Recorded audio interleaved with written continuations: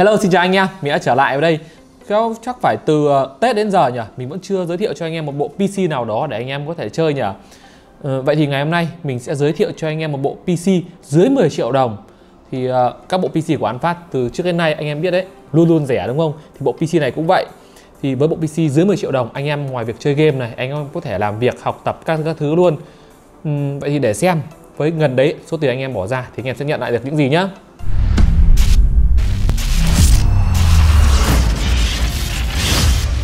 Đầu tiên sẽ là phần CPU đi. CPU ngày hôm nay mình đang có ở đây là CPU Core i3 9100F Đây một CPU 4 nhân 4 luồng Có thể nói là rất là tốt của Intel. Mức giá mình nhớ đâu đó khoảng hơn 2 triệu một chút thôi. Thì xung nhịp của CPU này rất là cao. Uh, xung nhịp bình thường ấy đã đạt là 3.6 GHz rồi. Còn khi turbo boost sẽ đạt 4.2 GHz đơn nhân. Còn nếu mà để 4 nhân ấy sẽ là 4.0 GHz mình nhớ không nhầm nó phải mạnh hơn cả con uh, i5 9000 à đâu 7.400 hay 7.500 đấy, khá là mạnh đấy. Mức giá rất hấp dẫn CPU bây giờ rất là rẻ rồi. Thì với một mức xung nhịp cao như này này, bốn nhân các game hiện tại như game online này hoặc một số các game offline thì đều đa số ấy đều là bốn nhân thôi. Anh em sử dụng hoàn toàn là thoải mái. Ngoài ra, anh em có thể làm các công việc khác, ví dụ như ờ, vẽ vời trên AutoCAD chẳng hạn này, hoặc là làm Photoshop này Illustrator nhẹ nhàng, hoàn toàn là ổn thôi. Main ở đây, anh em thấy cái main này quen không? Bởi rất nhiều các bộ PC bên mình sử dụng cái main này rồi. Nó tốt thì phải sử dụng nhiều, đúng không? Đây là chiếc main Asus EX B365 MV5 thì đây một chiếc main mình thấy khá là ngon. Anh em có khe 16x được bọc giáp để chống các ờ, VGA nặng quá kiểu sợ cong này sẽ không cong được đâu. RAM thì uh, nếu sử dụng một thanh 8GB do cái main này chỉ hỗ trợ là hai thanh à, hai slot RAM thôi. Thì với một thanh 8GB như này thì nếu anh em cảm thấy thiếu ấy thì hoàn toàn có thể mua thêm một thanh 8GB nữa để nâng mức dung lượng lên 16GB thì với hai khe RAM này và cái main này hỗ trợ tối đa nâng cấp là 32GB RAM còn cà đầu ạ. Ừ. GTX 1650 anh em nghĩ sao? Anh em nghĩ sao mẫu card đồ họa này? Mình biết là có rất nhiều anh em kiểu không thích cái mẫu card đồ họa này. Nhưng mà mình phải nói thẳng như này, GTX 1650 nó rất là tốt. Đầu tiên, nó không sử dụng nguồn phụ, nên chắc chắn nó sẽ rất là mát. Và nếu như anh em sử dụng một bộ nguồn nó hơi yếu một chút thì với mẫu card đồ họa này sử dụng rất là tốt. Và cái thứ hai đây là dòng GTX mới nhất và rẻ nhất hiện nay rồi. Và mức giá của sản phẩm này cũng tương đối là hấp dẫn. Mình nhớ không nhầm chỉ rơi khoảng 3 triệu rưỡi thôi. 3 triệu rưỡi mà sức mạnh chơi các kiểu các tựa game này Dota 2 này CSGO này Liên minh huyền thoại chơi rất là thoải mái. Còn với PUBG thì mình khuyên anh em chỉ ở mức hai setting để chiến game một cách mật mà nhất. Còn với các tựa game offline ấy, thì à, cái này thì tùy anh em thôi. Anh em setting nếu chịu khó một chút muốn fps cao thì à, setting thấp. Còn nếu mà muốn trải nghiệm tốt đấy mà fps hơi thấp thì có thể setting cao hơn.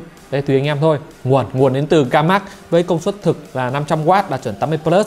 Thì với một bộ nguồn này mình thấy ở đằng sau nguồn ấy có một nút eco cái nút này có thể là giúp anh em tiết kiệm điện hơn. Với những anh em mà mua các bộ PC sử dụng phòng trọ ấy thì nếu mà bộ ngồi tiết kiệm điện hơn ấy thì à, cái hóa đơn tiền điện của anh em sẽ nhẹ nhàng đi tương đối đấy. Và vỏ cây vỏ cây à, cũng đến từ kem mắc luôn. À, mặt trước ở đây thì à, mặt kính cường lực thì mình không lắp vào thôi.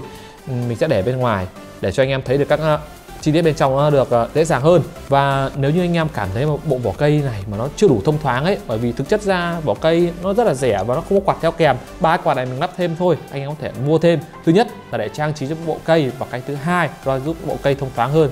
Anh em sử dụng trong thời gian dài hoặc là trong kiểu để phòng trọ một góc ấy nó bí quá thì với các quạt thân gió này thì bộ cây anh em hoạt động nó sẽ thoải mái hơn. Và cuối cùng sẽ là phần trải nghiệm game và một số các ứng dụng để cho anh em thấy được uh, bộ PC này có xứng đáng với mức giá gần 10 triệu đồng của nó hay là không?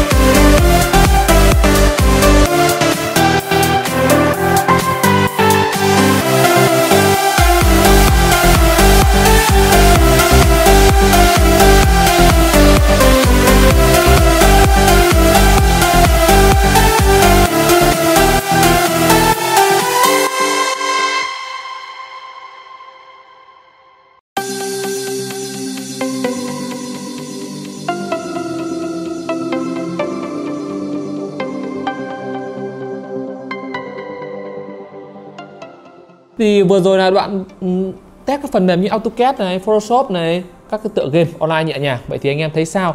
Có xứng đáng mức giá 9 triệu 799 nghìn đồng hay không? Hoặc gọi là nhanh là dưới 10 triệu đi.